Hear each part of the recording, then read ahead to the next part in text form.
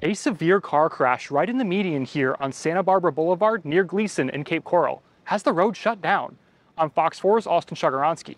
You can see investigators are here now figuring out what exactly happened. On Monday afternoon around 2.30, a white pickup truck crashed into a tree. We don't know the extent of any injuries or how many people were in the truck, but investigators say they'll be releasing more information soon. It's not known yet if speed was a factor. Fox 4 will bring you the latest as much details are released. In Cape Coral, I'm Austin Shagaradsky, Fox 4 News.